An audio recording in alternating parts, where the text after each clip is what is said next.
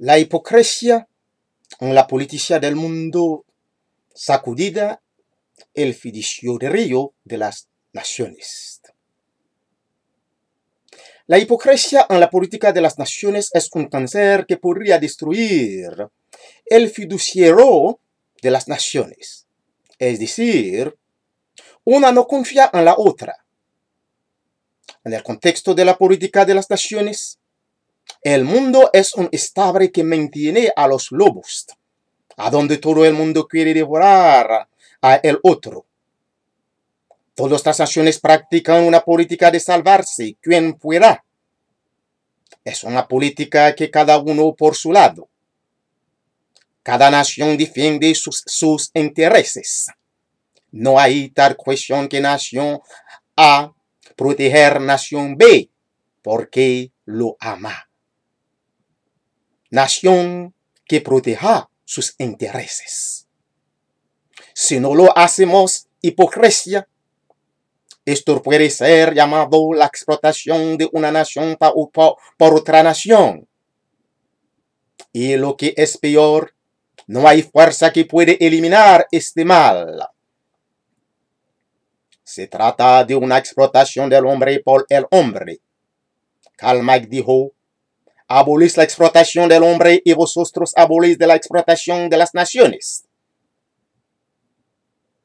por las preocupaciones de realismo. Yo es, me, me parece, la política internacional tal como es. No hay ideal moral en la política de las naciones. En política internacional, tenemos que analizar los hechos de una manera real. Este es la, la política de realismo pragmático, que cada nación tiene una finalidad que es el, el preservar y salvar a la nación. Y cuando los intereses de la nación están en peligro, Estado se transforma en pragmatismo, realismo para defender sus intereses. En el escenario de la política internacional, si quieres decir la verdad, podemos decir que no hay moralidad en la política de las naciones. Por ejemplo, Rusia ha, negado que los Estados Unidos atacaron Siria a pesar de que era obvio que el presidente del país, señor Bashar al-Assad, utilizó armas químicas contra su pueblo. Vladimir Putin, el presidente ruso, utilizar la moralidad política para proteger los, los intereses de su país en Siria. Los Estados Unidos no admite que Irán ayuda a Irak en la guerra contra el ISIS, el grupo terrorismo islamista. Las grandes naciones hacen el ruego del gato y el ratón en el conflicto entre Palestina y, Israel.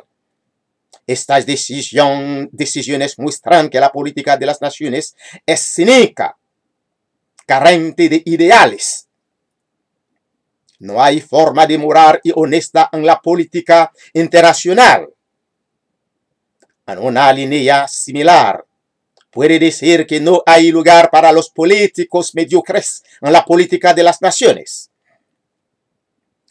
No hay nada por nada en la política internacional.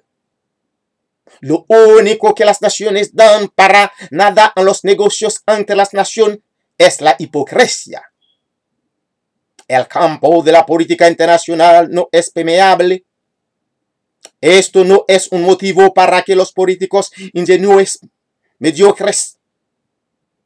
Desfortunadamente, muchos países del tercer mundo no dan importancia a la política internacional, que debería ser una herramienta muy importante para el desarrollo de estos países. Estos países no saben que la diplomacia es una arte y un, oficio. Creen que todos los ciudadanos son diplomáticos. El trabajo del diplomático no es un comercio en general. Nadie, nadie nace diplomático. Uno se convierte, se convierte en, una, en una, a condición de tener conocimiento previo en el prado de asuntos internacionales. No hay lugar para los mediocres. Es un pasto para los mejores. Pero la corrupción, la maldad fe, la mediocridad permiten que un presidente de elegir recogida de menos cualquier persona para ser un diplomático. Y esto es, es una vergüenza nacional. Es como el presidente ha sacrificado los intereses del país, los intereses colectivos para los intereses personales.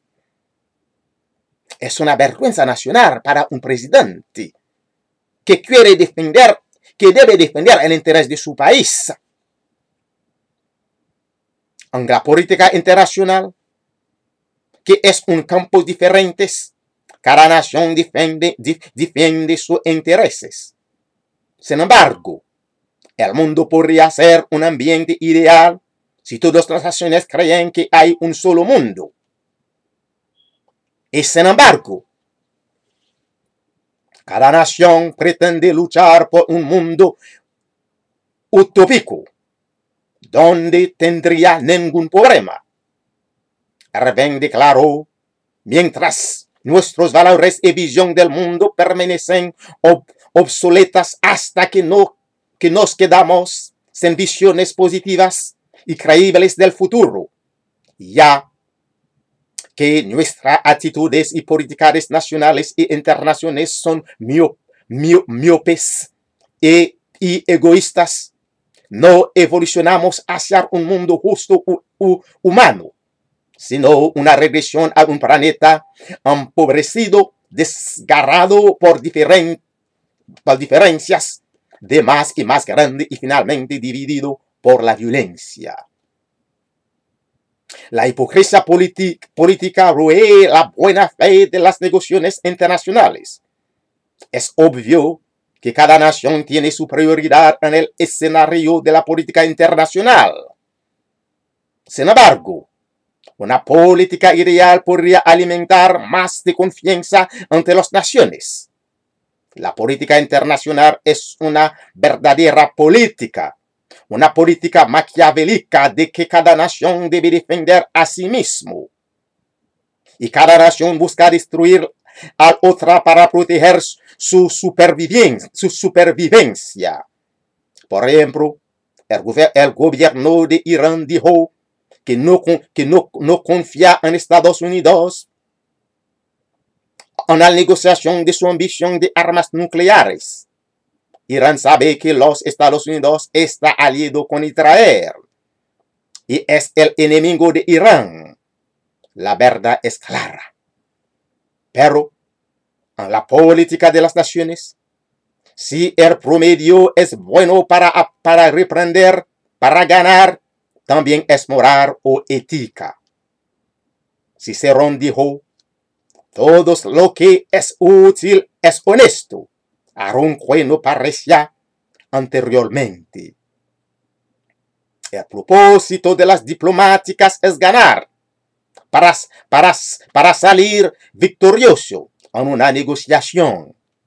Nicolás Maquiavelo dijo que los grandes hombres llaman vergüenza el hecho de perder y no el truco para ganar.